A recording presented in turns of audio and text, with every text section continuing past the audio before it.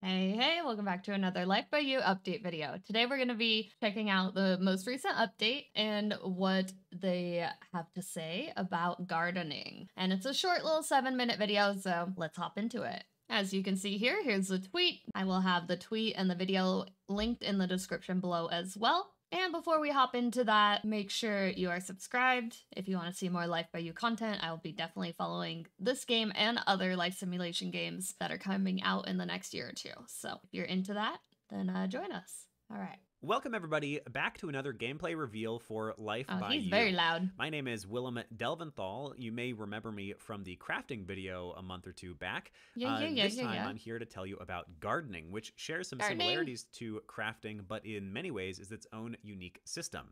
Now, I'm a game designer, and as I said before, game designers are largely here to try to find the fun in the game. They're creating content and systems to try to make an enjoyable, engaging experience for all of you, the players. And gardening has Good, actually good, been good. in Life by You for quite some time, but has needed some significant updates. So I was tasked with trying to get gardening ready for our early access release. Now, Make before I say anything else, remember that all of this may change. Game development is all about iteration and making things incrementally better over time. So Yeah. some of this may be different from the final release. So my four objectives We're for continuing to work on our character these. models and animation as well as the lighting in the world. simple. All right. Number two, I wanted it to tie Yeah, the shadows a other existing funky. systems in the game. Number three, I wanted to make sure that your character can create enough money for themselves to sustain themselves just by gardening. And number four, I wanted to scale in a satisfying way so that your character gets better at gardening over time. That is good. Now, just like I before, like. I did this work with the help of many other people on the team, including some of the engineers that you may Yeah, know the and love, like animations could be a and Ted, little- and some of the artists as well, like Naka. It's like All right, let's jump into they're gardening doing. and see what's in store for everyone. what they did say they're there. So, for the sake of this video, I decided to split things up into the six main mechanics of gardening in Life by You the Hmm. three more simple ones and the three more advanced ones. Okay. The simple mechanics of gardening Tell me include more. planting, watering, and harvesting, and the more advanced features include fertilizing, weeding, and sprinklers. oh, so let's go ahead and sprinklers. start with we get sprinklers. Players can oh, acquire Oh, seeds from two main locations in Life by You.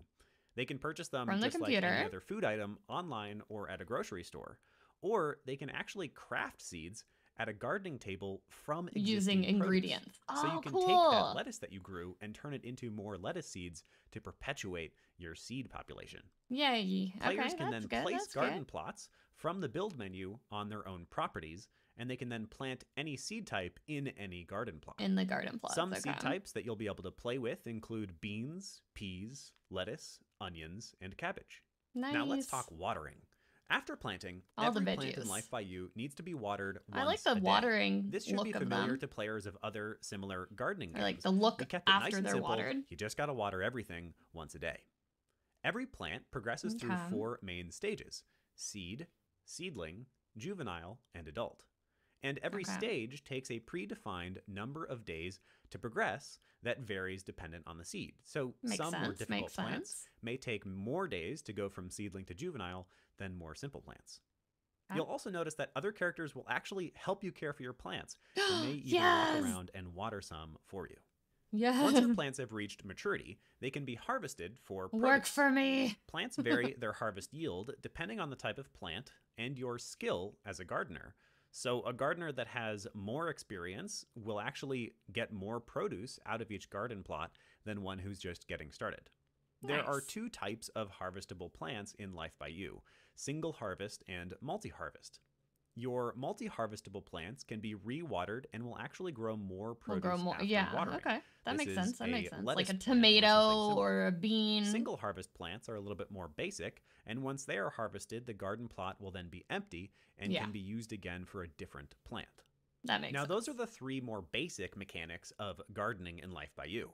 You plant your plant, you water it over a couple of days, and then you harvest it for use in cooking or just for sale. But we Mhm. also have the three more advanced features, the first of which being fertilizing. Various fertilizers can yeah. be purchased or actually crafted out of seashells in Life. Seashells. Ah. You can fertilize any plot, and Yeah, it will yeah, remain fertilized until that plant is fully harvested. That's amazing. Fertilized plants increase the yield of the plot, meaning a plot that is fertilized will actually give you more produce when you harvest it. Next, we have weeding. Depending on the plant's difficulty to grow, some plants can occasionally spawn weeds. These are easily removed but delay plant growth while they are present. So Oh, if no. you leave a weed for too long, your plant won't grow and it will Oh. delay your harvest time. Okay. Plants can also sure you wither, your especially plant. if you forget to Good water to them, and must be cleared and replanted if they wither completely. They will go bad. And our last mechanic, and probably my favorite, is sprinklers. In order Mm. to give players a late That's game new. scaling option like for that. We That's decided great. to add simple automatic sprinklers to the game. let's These switch to Terrence who has a only higher gardening skill. via Okay. crafting. Once you reach a certain gardening level, and then You can craft make them at a gardening table. Ah, Placing a sprinkler on a garden plot automatically waters that plot Oh. forever.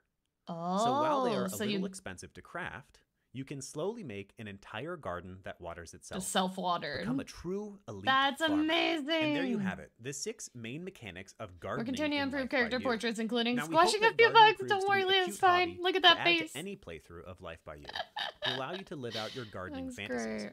Maybe your character prefers like fresh veggies in their salads and they grow some lettuce outside for just such occasions. But we also want you to be able to play out a true farming fantasy and fully financially support your character from just fresh fruit and veg. So we can sell that. in stuff. addition, we're hoping Do that like this a actually farmer's acts market? as inspiration for the types of mods you'll be able to add to the game. Hmm. Imagine you can add all kinds of new plants that you can grow as well as your friends can grow. Hmm. Or you can add new types of gardening craftables like the sprinklers, and so much more. If you take Yeah, nothing yeah, else away from this video, we hope that you feel that gardening is primarily Pants a cam is not a feature. for you and your Wait. characters. oh, You. A relaxing way for your character to get a little bit more connected to the natural world. That's fine. All right. Now, before we go, I want to make it a rule that every time I do one of these videos, I ask all of you for feedback because I had so much fun reading all of the feedback in the last crafting video. So, I have three questions for all of you here today. Oh boy, Leave your thoughts in the comments down below. I'm ready. First question Are there other things you'd like to see as gardening craftables? So, right now, there's three main things you can make. You Mhm. can turn produce into seeds, you can make the gardening table, and you can make sprinklers. Is there anything else you might like to see? Number two, Hmm. is there anything else you'd like to be able to do with produce? Right now, there's two things Sell you it. can do with the produce. You can sell At a table. or you can cook with it. And number three, do you have any other feedback on gardening? I want to be able to set up a table. All right, like the Home Chef Hustle, but time Let us have that in base gardening, game. and I'm mm-hmm. excited to have all of you try it, and I'm excited to see all of the weird mods you add to it. Yeah. I hope you've had a wonderful time yourself, and I hope you consider picking up Life by You in early access coming soon. Bye now. All right, and that's the video. So let's talk about what we saw there. I think that they do need some way to sell them that isn't just sell from your inventory. We need like a physical way to go and sell your stuff. To be able to like have a farmer's market pop up event happen in the world and you're able to bring a table with you and like sell stuff at that farmer's market. I think that would be great because like farmers markets are so common and they're the best place to get the best produce and veggies. So I don't know. I really hope they would add something like that. That would give us a little more um, gameplay options with growing your own stuff and trying to make money from it. He did touch on like mods, like how you can mod it to make your own or make more variety of stuff. And I'm curious to see what modders will do with that. And I do love the sprinkler thing. I think that's great. And I'm surprised that no other life sim game, like we haven't had sprinklers necessarily in uh, other life sims. So I think this is wonderful to make it a little bit easier once you get past the initial like starting stages of doing this and the repetitiveness which can come with that. I think the watering process being automated is very important because it's something like in real life you usually have sprinklers. You're not usually watering every single vegetable and fruit. It depends where you live and how you, how you do it but usually you end up setting some kind of a sprinkler system just to make your life a little bit easier and so they're more consistently watered. So yeah that being said i think this is a great video and i did like william's energy and i like the way that he is confident in the way that he speaks about the system and the game and i'd love to see more from him for more gameplay stuff so let me know what you like about gardening, what you'd like to see more from gardening, and any other uh, feedback you have for this game. Feel free to leave a comment. Let me know. I'd love to chat about it. Thanks so much for watching. Make sure you leave a like and subscribe if you haven't yet, and I will see you guys next week.